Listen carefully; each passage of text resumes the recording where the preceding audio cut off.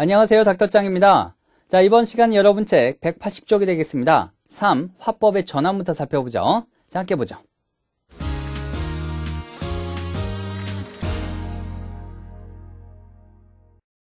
자, 우선 여기서 배울 핵심 문장부터 확인해 보죠. Number one, she said to me, I am very happy now. Number two, she told me she was very happy then. She told me that she was very happy then. 화법은 다른 사람이 한 말을 듣는 사람에게 전달하는 방식을 말합니다. 영어로는 narration 이렇게 말하죠. 자 여기에는 직접 화법과 간접 화법 이런 두 가지가 있어요. 자 먼저 직접 화법에 대해서 알아보죠.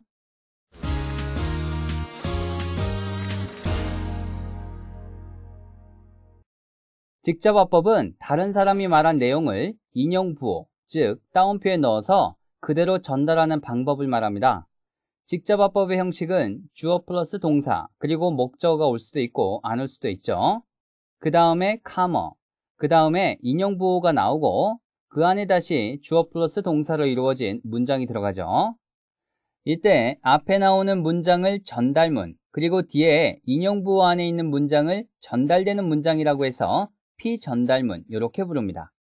자 그리고 전달문의 동사는 남의 말을 전달하는 동사라고 해서 전달 동사 이렇게 불러요. 이런 용어들을 기억을 해두시기 바랍니다. 자 이렇게 직접화법의 문장에서는 전달 동사 다음에 반드시 카마가 위치하게 되고 그리고 피전달문은 인용부호를 사용하고 인용부호 안에 들어가는 문장은 대문자로 시작하게 됩니다. 자 그럼 예문을 통해서 확인해 보죠. Number one, she said to me, I am very happy now. She said to me. 그 여자는 나에게 말했다. I'm very happy now.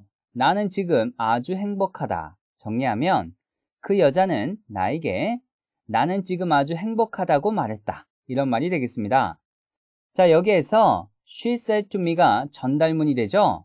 그래서 said to는 전달 동사가 되겠습니다. 그리고 인용부 안의 문장 I am very happy now 이것은 피전달문이 되는데 그 여자 she가 한 말을 그대로 인용하고 있으니까 직접 화법의 문장이 되는 것입니다. 자 다음은 간접 화법에 대해서 알아보죠.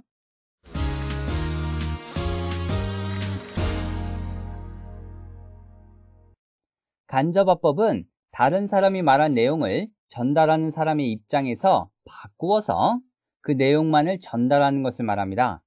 자, 우리말의 예를 들어서 설명해 보죠. 그가 그녀에게 나는 너를 사랑해 라고 말했다. 자, 이것은 그가 그녀에게 한 말을 그대로 옮긴 것이니까 직접화법이죠. 하지만 이 말을 전하는 사람의 입장에서 풀었어서 그가 그녀에게 그는 그녀를 사랑한다고 말했다. 이렇게 한다면 이건 간접화법이 되는 것입니다. 이제 좀 이해가 되실 거예요. 자, 그럼 좀 전에 본 직접화법의 문장을 보면 She said to me, I am very happy now. 자, 이것을 간접 화법으로 나타내면 어떻게 되는지 한번 보죠. Number two, she told me that she was very happy then. 자, 이번 문장은 카머와 인용 부호가 없으니까 간접 화법의 문장입니다. 자, 문장을 해석해 보죠. She told me. 그 여자는 나에게 말했다. That she was very happy then.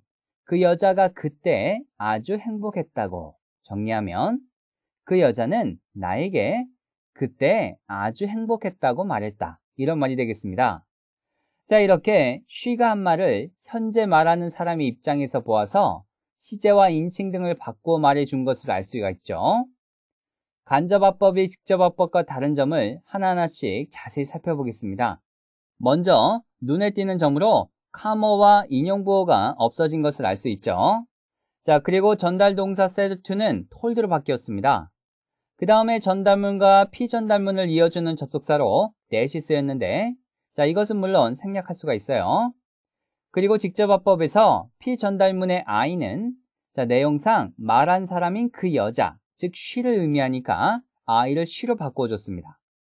자, 그리고 피전달문의 동사 am이 was로 바뀐 것을 볼 수가 있죠. 자, 왜냐하면 전달 동사가 과거니까 간접어법에서 주절의 시제가 톨드로 역시 과거가 되었죠. 그래서 종속절인 대절에서 주절 동사의 시제를 일치시켜서 과거로 써야 하는 것입니다. 그런데 대절의 주어는 쉬니까 여기에 동사를 또 일치시켜서 is의 과거형인 was로 바꿔준 겁니다. 자, 그 다음에 지금 이런 뜻의 부사 나오는 내가 그 여자에게 나에게 한 얘기를 옮길 때에는 이미 지나간 시간이 되었으니까 그때가 되는 것이죠.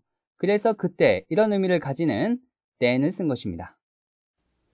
자, 이렇게 직접어법을 간접어법으로 바꿀 때는 일정한 규칙이 있습니다. 자, 그러한 규칙들을 하나하나씩 자세히 살펴보겠습니다.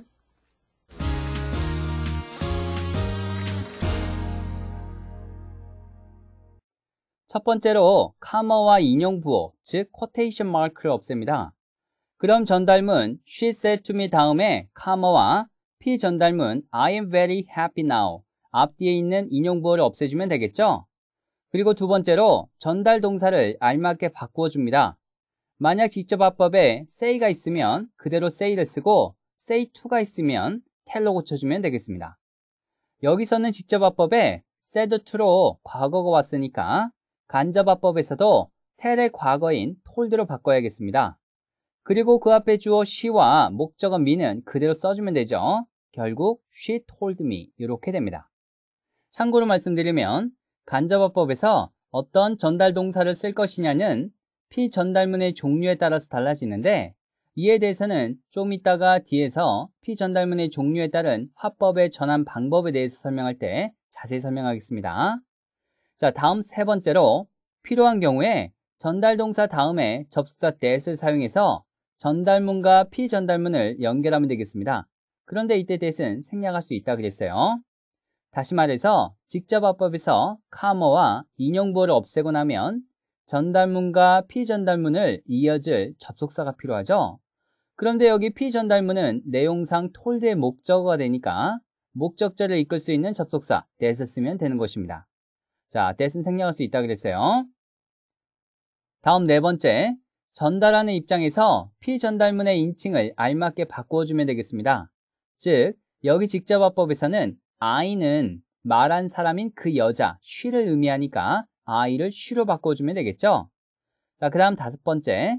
피전달문의 시제를 전달문의 시제에 일치시켜서 변화시켜주면 되겠습니다.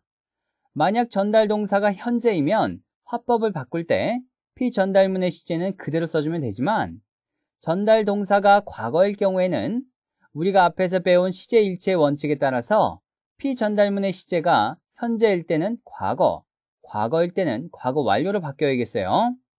자, 여기서도 전달 동사 said to가 과거니까 간접화법에서 동사가 told로 과거가 되었죠. 따라서 시제 일치에 따라서 직접화법의 피전달문의 동사가 현재형 am에서 과거형 was로 바뀌는 것입니다. 자, 그 다음에 마지막으로 피전달문에 있는 형용사나 부사 또는 부사구를 전달하는 입장에서 맞추어 바꾸면 되겠습니다. 자, 여기 직접화법에서는 나오는 그 여자가 말한 당신은 현재니까 나오겠지만 간접화법에서는 이미 지나가 버린 때가 되겠죠? 그러니까 과거가 됩니다. 그래서 그때 이런 뜻의 then으로 바꿔주는 것입니다. 자, 이처럼 직접화법에 나오는 간접화법에서는 then으로 바뀌죠. now가 then으로 바뀌는 것 말고도 직접화법이 간접화법이 될 때 바꿔줘야 할 형용사나 부사, 부사구들의 예를 더 살펴보죠. 이것, 이런 뜻의 지시대명사 this는 저것, that으로 바뀝니다. 그리고 여기 이런 뜻의 here는 저기, there로 바뀌게 되겠죠. 그 다음에 전에 이런 뜻의 ago는 현재를 중심으로 하는 거니까 같은 뜻이지만 과거를 중심으로 하는 before로 바꿔주면 되겠습니다. 그리고 오늘 이런 뜻의 today는 그날 이런 뜻의 that day로 고치면 되겠어요. 그리고 next week 하면 다음 주죠. next week은 간접화법에서 정관사 더가 붙어서 the next week, 그 다음 주 이렇게 되겠습니다. 자, 마찬가지로 next year, 다음에도 간접화법에서 정관사 더가 붙어서 the next year, 그 다음에 이렇게 되겠죠. 그 다음에 내일 이런 뜻의 tomorrow는 그 다음날 이런 뜻으로 역시 정관사 더와 함께 the next day 또는 뒤의 다음의 이런 의미의 형용사 following을 써서 the following day 이렇게 고쳐주면 되겠습니다. 이렇게 간접화법에서는 next 앞에 다 정관사 더가 들어가요. 그 다음에 yesterday, 어제는 그 전날 이런 뜻의 the day before 이렇게 쓰거나 the previous day 이렇게 고쳤으면 되겠습니다. previous는 앞의, 이전에 이런 뜻으로 following의 반대말이에요. 자, 그리고 last night, 지난밤. 이 말은 그 전날 밤 이런 뜻의 the night before 또는 the previous night 이렇게 고치면 되겠습니다. 자, 지금까지 배운 원칙들을 바탕으로 해서 피전달문의 종류에 따라서 화법의 전환을 어떻게 하는지 살펴보도록 하겠습니다. 자, 먼저 피전달문이 평서문인 경우부터 보죠. 함께 보시죠.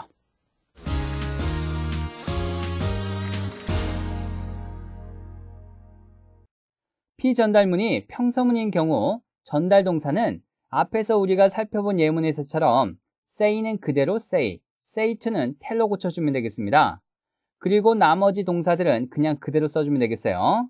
자, 예문을 보죠. He said, This boy is very honest. 여기 카머와 인용부호가 있으니까 직접화법이죠. 자, 문장을 해석해 보죠. He said, 그는 말했다. This boy is very honest. honest는 형용사로 정직한 이런 뜻이니까 이 소녀는 매우 정직하다. 정리하면 그는 이 소녀는 매우 정직하다라고 말했다. 이런 뜻이 되겠습니다. 자, 여기서 he said는 전달문이죠. 그리고 this boy is very honest. 이것은 피전달문이 되고 said는 전달 동사가 되겠습니다. 자, 그럼 이 문장을 간접 합법으로 고쳐보죠. 자, 먼저 카머와 인용 보호를 빼라 그랬습니다. 자, 그 다음에 전달 동사 said는 뒤에 전사 to가 없으니까 그대로 said로 쓰면 되겠죠? 그리고 주어 he는 그대로 써주면 되겠습니다. 그 다음에 전달문과 피전달문을 이어주기 위해서 접속사가 필요하니까 said 다음에 목적절을 이끄는 접속사 that을 쓰면 되겠습니다. 물론 생략할 수 있죠. 자, 그 다음에 피전달문의 주어인 this boy에서 지시형 용사 this는 간접화법에서는 that으로 바뀐다 그랬으니까 that boy 이렇게 되겠습니다. 그리고 피전달문의 동사 is는 현재인데 전달 동사가 said로 과거니까 시제일치에 따라서 역시 과거인 was로 바뀌어야겠죠. 그 다음에 비동사의 보호로 쓰인 나머지 very honest를 그냥 연결해주면 되겠습니다. 자, 확인해보죠. He said that boy was very honest. He said that that boy was very honest. 그는 그 소년이 아주 정직하다고 말했다. 이런 뜻이 되겠습니다. 자, 다음 예문을 또 보죠. She said to him, I met your father. 자, 여기 카머와 인용부호가 있으니까 역시 직접화법이죠. She said to him. 그 여자는 그에게 말했다. I met your father. met은 만나다 meet의 과거죠. meet, met, met 이런 식으로 변하죠. I met your father. 나는 너의 아버지를 만났다. 정리하면 그 여자는 그에게 나는 너의 아버지를 만났다 라고 말했다. 이런 뜻이 되겠습니다. 자, 이 문장을 간접화법으로 바꿔보죠. 자, 마찬가지로 먼저 카머와 인용부호를 없앱니다. 자, 그 다음에 전달 동사를 바꾸는데 전달 동사가 said to니까 텔의 과거형 told를 써야겠죠? 그리고 주어 she와 목적어 힘은 그대로 써주면 되겠습니다. 자, 그 다음에 전달문과 피전달문을 이어야 하니까 접사 that을 써야겠죠? 물론 생략할 수 있습니다. 자, 그 다음에 피전달문에서 주어 I는 내용상 그 여자, 즉 she를 의미하니까 간접화법에서 she로 바뀌어야겠습니다. 자, 이제 피전달문의 동사 met을 고칠 차례인데요. 자, 조심해야겠어요. 자, 일단 시제가 met으로 과거죠. 그런데 간접화법에서 주절의 동사가 톨드로 과거니까 여기에 시제를 일치시켜서 과거 완료인 had met으로 고쳐야겠습니다. 자, 한번 생각해 보세요. 그 여자가 그에게 자기가 그의 아버지를 만났다라고 말했다. 자, 이렇게 말할 때 그 여자가 그에게 말한 것보다 그녀가 그의 아버지를 만난 일이 더 먼저 일어난 일이죠. 그러니까 당연히 과거 완료 had met 이렇게 써야 되는 것입니다. 자, 그 다음에 your father에서 your는 의미상 그의 아버지 이런 뜻이니까 his로 바뀌어야겠죠. 자, 그럼 확인해 보겠습니다. She told him she had met his father. 자, 해석해보죠. 그 여자는 그에게 그의 아버지를 만났다고 말했다. 이런 뜻입니다. 자, 다음 예문을 보죠.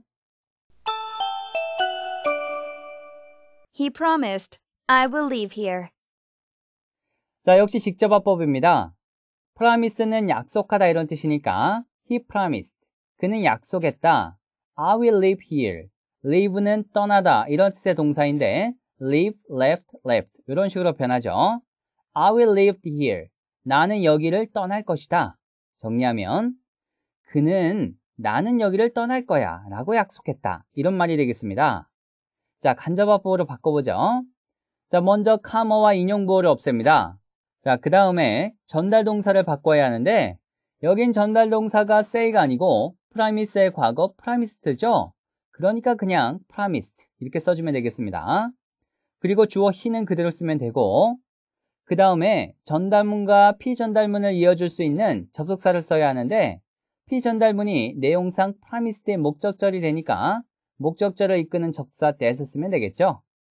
자, 그 다음에 피전달문의 주어 I는 내용상 그, 즉 he가 되니까 피전달문에서 he로 바뀌고 동사 will live에서 조동사의 현재형 will은 전달동사가 promised로 과거니까 시제일지에 따라서 과거형인 would로 써야겠습니다. 그리고 맨 뒤에 부사 here는 간접화법에서는 there로 바뀐다 그랬죠? 자, 확인해 보죠. He promised that he would leave there.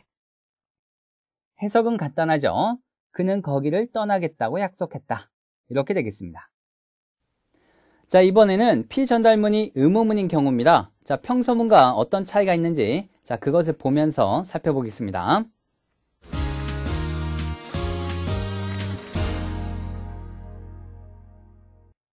피전달문이 의무문인 경우에는 의문사가 있는 의무문인지 아니면 의문사가 없는 의무문인지에 따라서 화법을 전하는 방법이 좀 틀립니다.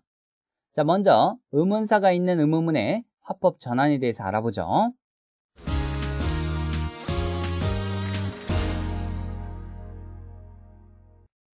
전달동사 say나 say to는 모두 묻다 이런 의미의 동사 ask로 바꾸면 되겠습니다. 그리고 접속사로 의문사를 그대로 사용하면 되니까 별다른 접속사를 쓸 필요가 없어요. 그리고 피전달문은 의문사 플러스 주어 동사 이런 어순으로 써주면 되겠습니다. 즉 간접화법에서 피전달문이 문장의 일부로 간접 의문문이 되기 때문에 간접 의문문의 어순인 의문사 플러스 주어 동사 이런 순서가 되는 것입니다. 옛날에 배운 기억 나시죠? 자, 그럼 예문을 한번 보죠. I said to the boy, How old are you? 자, 이 문장은 카머와 인용부어가 있으니까 직접 화법이 되겠습니다. 자, 해석해보죠. I said to the boy. 나는 그 소년에게 말했다. How old are you? 너는 몇 살이니? 즉, 나는 그 소년에게 너는 몇 살이니? 라고 물었다. 이런 말이 되겠습니다. 자, 이 문장은 피전달문이 How old are you? 자, 이렇게 의무문이 되겠어요. 자, 그럼 이 문장을 간접 합법으로 고쳐보죠. 먼저 카머와 인용부를 없앤다 그랬으니까 없애면 되겠고요. 그 다음에 전달 동사를 바꾸는데 여긴 피전달문이 의무문이니까 무조건 묻다 ask로 바꾸면 되겠습니다. 그런데 said to로 시체가 과거니까 과거인 asked 이렇게 바꾸면 되겠죠. 그리고 주어 I와 목적어 더 보이는 그대로 써줍니다. 자, 이제 피전달문을 연결해야 하는데 피전달문에 의문사 how가 있죠? 그래서 피전달문 how old are you는 간접화법에서 의문사 플러스 주어 동사 이런 순서로 써주면 됩니다. 의문사가 접사의 구실을 해주니까 접사 that을 쓸 필요가 없는 것이죠.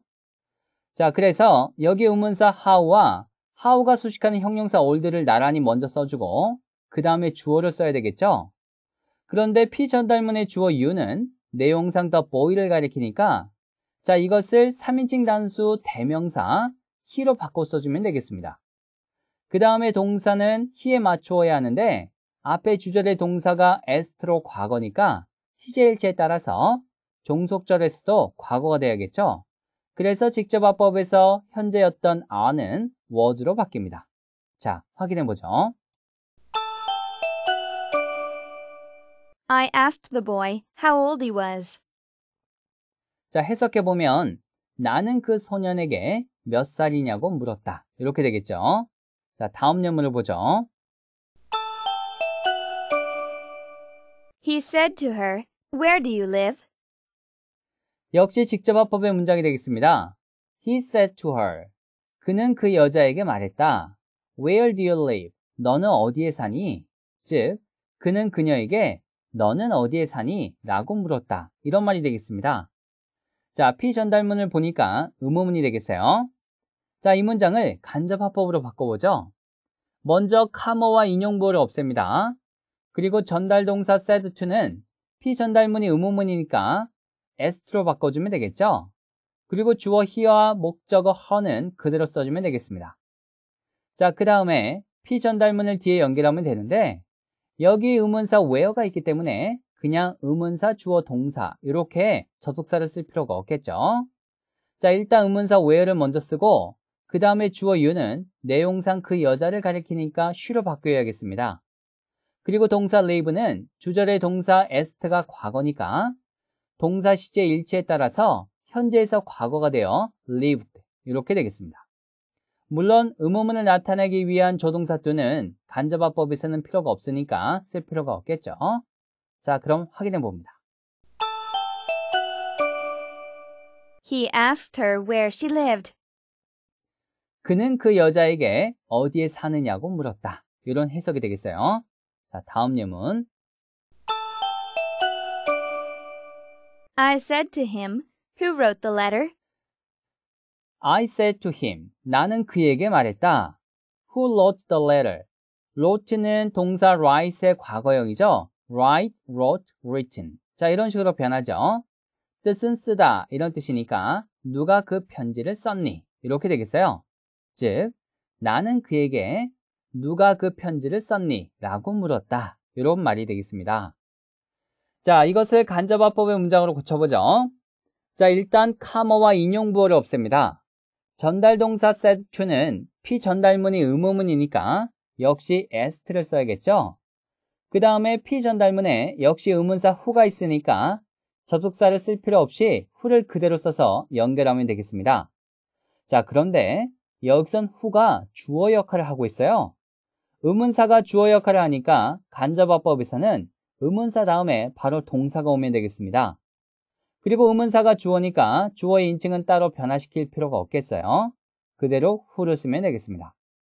그 다음에 동사 wrote는 est가 과거니까 역시 시제일지에 따라서 과거에서 과거 완료 had written으로 바뀌어야겠습니다. 그 다음에 the letter는 그대로 써주면 되겠습니다. 자, 확인해 보죠. I asked him who had written the letter. 나는 그에게 누가 그 편지를 썼느냐고 물었다. 이렇게 되겠어요. 자, 이번에는 피 전달문이 의문사가 없는 의문문인 경우를 살펴보죠.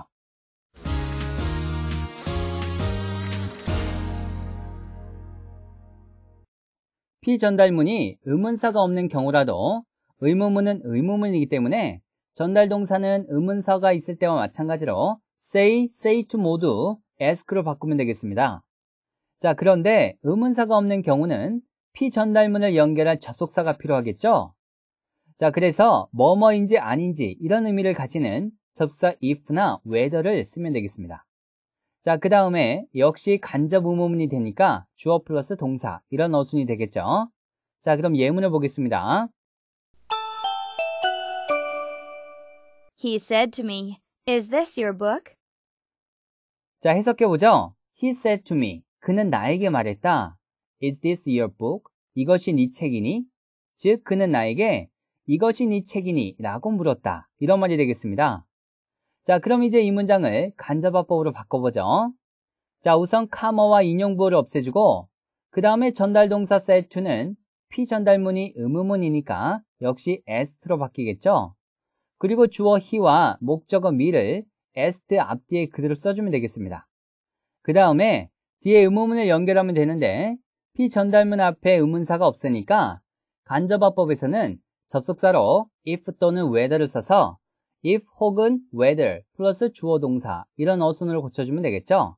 그러니까 if나 whether를 먼저 써주고 그 다음에 주어 this는 간접화법에서는 that으로 바뀐다 그랬죠? 그리고 동사 is는 전달 동사가 과거니까 간접화법에서 주절 동사 st의 시제일치에서 과거형 was가 되겠습니다. 그리고 your book에서 your는 의미상 그의 말을 듣는 사람을 가리키니까 my로 바뀌어야겠죠? 자, 그럼 완성된 문장을 확인해 보죠. He asked me if that was my book. He asked me whether that was my book. 그는 나에게 그것이 나의 책인지를 물었다. 이런 말이 되겠습니다. 자, 다음 예문. I said to her, Have you ever seen a lion? I said to her. 나는 그 여자에게 말했다. Have you ever seen a lion? Have you ever 플러스 과거 분사하면 경험을 나타내서 뭐뭐한 적이 있습니까? 이런 의미가 되는 거 잘 아시죠? 앞에서 여러 분 나왔어요. 자, 그러니까 Have you ever seen a lion? 당신은 사자를 본 적이 있습니까? 이런 말이겠죠? 자, 정리해보죠. 나는 그 여자에게 당신은 사자를 본 적이 있습니까? 라고 말했다. 이런 의미죠. 자, 이 문장도 간접화법으로 바꿔봅니다. 자, 카머와 인용보호는 자동으로 없애야겠어요.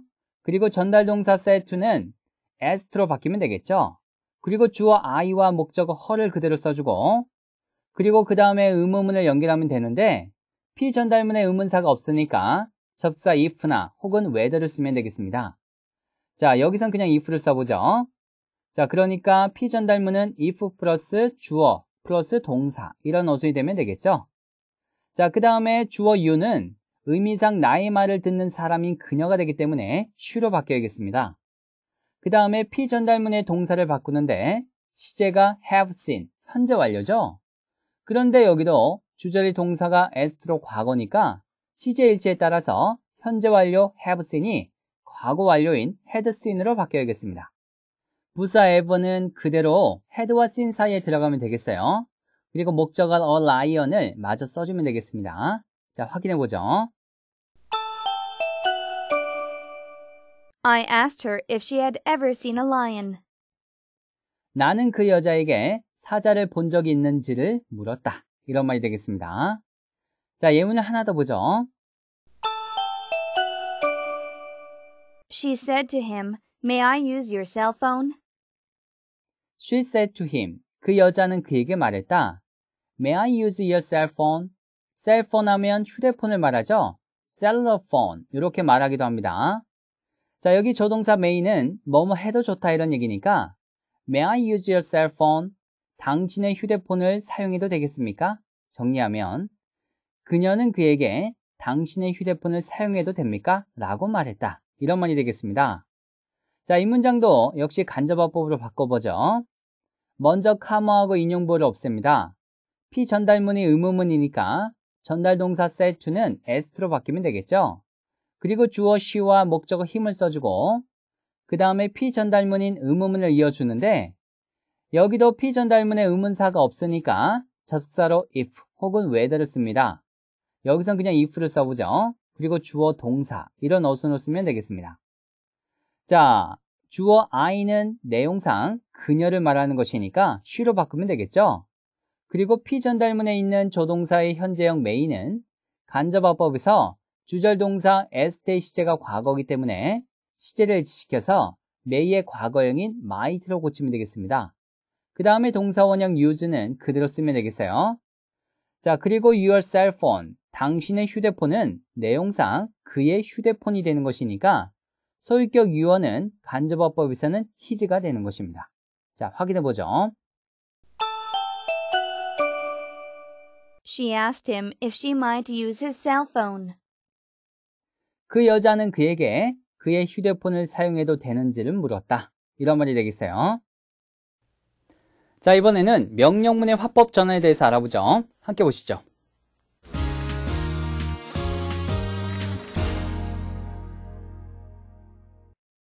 피전달문이 명령문인 경우에는 전달 동사는 평서문과 의문문의 경우보다 좀 더 복잡하게 변합니다.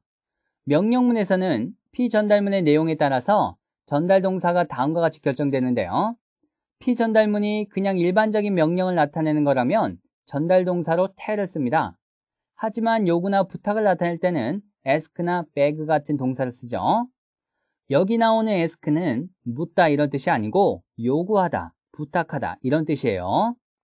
그리고 beg는 간청하다 이런 의미로 ask보다 좀 더 강국한 표현이죠.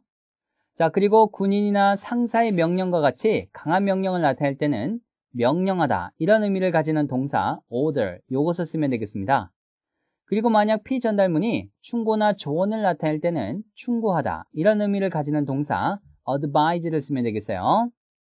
그리고 피전달문이 상대방에게 무엇을 할 것을 제안하는 내용이 되면 전달 동사로 제안하다 suggest를 쓰면 되겠습니다. 자, 주로 뭐뭐 하자 이런 의미의 let로 시작하는 명령문이 제안을 나타내는 경우가 많죠. 자, 그런데 방금 살펴본 네 가지 경우에 쓰는 동사, 즉 tell, ask, beg, order, advise. 자, 이런 동사들은 명령문을 직접화법에서 간접화법으로 바꿀 때 피전달문이 주어 플러스 동사를 갖춘 절이 되지 않고 이들 동사의 특성상 목적어 플러스 to부정사 이런 형식이 되게 됩니다. 그러니까 접속사나 어순, 시제일치 같은 것을 신경 쓸 필요가 없이 그냥 피전달문에 있는 동사를 to부정사로 바꿔주면 되는 것이죠. 정말 쉽죠? 하지만 제안의 경우 suggest를 써서 화법을 전환하게 되면 앞에 살펴본 동사들처럼 목적어 플러스 to부정사 이런 형식이 올 수가 없고 suggest 다음에는 접속사 that 플러스 주어 플러스 should 동사 원형 이런 구문이 나오게 됩니다. 제안을 나타내는 동사 suggest는 that절에 관용적으로 조동사 should를 쓴다는 거 우리 앞에서 배웠어요. 다 기억나실 거예요. 이때 물론 should는 생략하고 동사 원형만 쓸 수도 있다 그랬습니다. 자, 그럼 예문을 통해서 확인해 보죠. Number 1. The teacher said to us, Be quiet in the classroom. 카머와 인용 부호가 있으니까 직접화법의 문장이 되겠습니다. The teacher said to us. 선생님의 우리에게 말씀하셨다. Be quiet in the classroom. 동사 원형으로 시작하니까 명령문이 되겠어요. 그리고 여기 quiet는 형용사로 조용한 이런 의미가 되겠습니다. 하지만 끝에 이와 t의 순서가 바뀌어서 quite 이렇게 되면 부사로 꽤, 상당히 이런 의미가 되죠. 자, 주의해야겠습니다. Be quiet 명령문이니까 조용히 해라 이런 의미가 되겠죠. 그러니까 교실에서는 조용히 해라. 정리하면 선생님은 우리에게 교실에서는 조용히 해라 라고 말씀하셨다. 이런 말이 되겠습니다. 자, 이 문장을 간접화법으로 바꿔보죠. 자, 먼저 카머와 인용부호를 없앱니다. 그 다음에 전달 동사를 바꾸는데 이 문장 같이 피전달문이 명령문인 경우에 직접화법을 간접화법으로 바꿀 때는 문장의 내용에 따라서 전달 동사를 적당한 것으로 바꾸면 되겠어요. 그런데 여기 be quiet in the classroom 자, 이것은 그냥 보통의 일반적인 명령을 나타내는 거니까 전달 동사로 tell을 써보죠. 그러니까 여기 전달 동사 said to는 tell의 과거형인 told로 바뀌면 되겠습니다. 그 다음에 told 앞에 주어 the teacher와 목적어 us는 그대로 써주면 되고 그리고 여기 동사가 told니까 그 다음에 접속사는 필요 없고 목적어 us 다음에 투부정사를 써주면 되겠습니다. 그래서 피 전달문의 동사 be를 to be로 바꾸면 되겠습니다. 그리고 나머지 것들은 그대로 쓰면 되겠어요. 자, 확인해 보죠. The teacher told us to be quiet in the classroom. 선생님은 우리에게 교실에서는 조용히 하라고 말씀하셨다. 이런 말이 되겠습니다. 자, 다음 예문. Number 2. He said to me, Please close the window. He said to me. 그는 나에게 말했다. Please close the window. 제발 창문을 닫아주세요. 정리하면 그는 나에게 제발 창문을 닫아주세요 라고 말했다. 이런 말이 되겠습니다. 자, 간접화법으로 바꿔보죠. 카머와 인용부를 없애고 그 다음에 전달 동사를 바꾸는데 자, 여기선 피전달문에 제발, 부디 이런 의미의 please를 썼으니까 내용상 요구나 부탁이 되겠죠? 그래서 전달 동사로는 부탁하다 ask를 쓰면 되겠습니다. 그러니까 여기 said to는 asked가 되겠죠. 앞에 주어 he와 목적어 me는 그대로 써주면 되고 여기 asked 역시 뒤에 목적어 플러스 투부정사가 나오니까 목적어 me 다음에 투부정사를 넣으면 되겠습니다. 따라서 직접화법에서 피전달문의 동사 close는 간접화법에서는 to close가 되겠죠. 그리고 close 다음에 the window는 그대로 쓰면 되겠습니다. 자, 확인해 보죠. He asked me to close the window. 그는 나에게 창문을 닫아달라고 부탁했다. 이런 말이 되겠습니다. 자, 다음 예문. Number 3. The officer said to them, Don't go out. The officer said to them. officer, 장교 또는 임원, 간부 이런 뜻인데 자, 여기선 장교라고 해석해 보죠. The officer said to them. 그 장교는 그들에게 말했다. Don't go out. don't가 있으니까 부정명령문이 되겠어요. 뭐뭐 하지 마라 이런 뜻이 되겠죠. go out은 외출하다 이런 뜻이니까 don't go out. 외출하지 마라. 정리하면 그 장교는 그들에게 외출하지 마라 라고 말했다 이런 뜻입니다. 자, 이 문장 또한 간접화법으로 바꿔보죠. 먼저 카머와 인용부를 없앱니다. 그리고 전달 동사를 바꾸는데 여긴 장교, 즉 군인이 부하들에게 명령하는 것이니까 피전달문 don't go out은 강한 명령이 되겠습니다. 그러니까 간접화법에서는 동사는 명령하다, order를 쓰는 게 좋겠죠? 그래서 전달동사 told는 과거이기 때문에 order의 과거인 ordered 이렇게 쓰면 되겠습니다. 그 다음에 주어 the officer와 목적어 them은 그대로 써주면 되겠죠? order 또한 뒤에 투부정사가 오는데 여긴 피전달문에 don't가 있는 부정명령문이니까 투부정사 앞에 부정은 not을 써서 not to 부정사 이렇게 써주면 되겠습니다. 그래서 don't go는 not to go 이렇게 되겠죠? 그리고 뒤에 out을 그냥 쓰면 되겠습니다. 자, 확인해 보죠. The officer ordered them not to go out. 그 장교는 그들에게 외출하지 말라고 명령했다. 이렇게 되겠습니다. 자, 다음 예문. Number 4. John said to us, Let's go to the movies after school. John said to us. John이 우리에게 말했다. Let's go to the movies after school. Let's는 뭐뭐 하자 이런 간접 명령문이죠. Go to the movies 하면 영화 보러 가다 이런 뜻이니까 Let's go to the movies. 영화 보러 가자. After school. After school 하면 방과 후에, 수업이 끝난 후에 이런 뜻입니다. 그래서 John은 우리에게 수업이 끝난 후에 영화 보러 가자 라고 말했다. 이런 뜻입니다. 자, 이 문장도 간접화법으로 고쳐보죠. 자, 먼저 카모, 그리고 인용보를 없애주고, 그 다음에 전달 동사를 바꿔주는데, 피전달문에 let'로 시작하는 말이 나왔으니까 제안을 나타내는 것입니다. 그래서 전달 동사는 제안하다 suggest를 쓰면 되겠죠.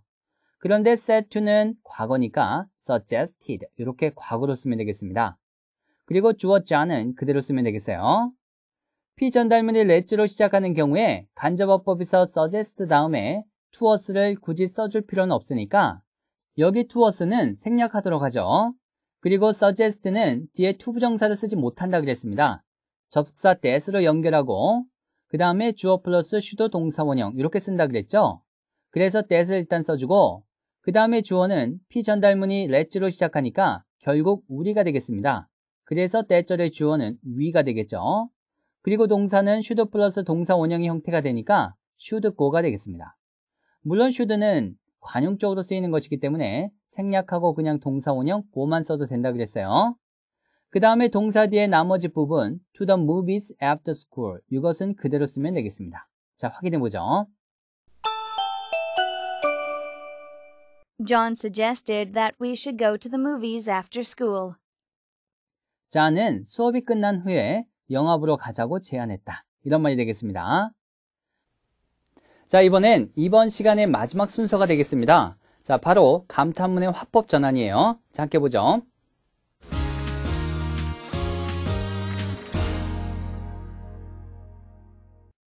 감탄문은 감탄을 나타내는 거니까 전달 동사가 소리치다 이런 의미를 가진 동사 cry 또는 cry out 이렇게 쓰면 되겠습니다.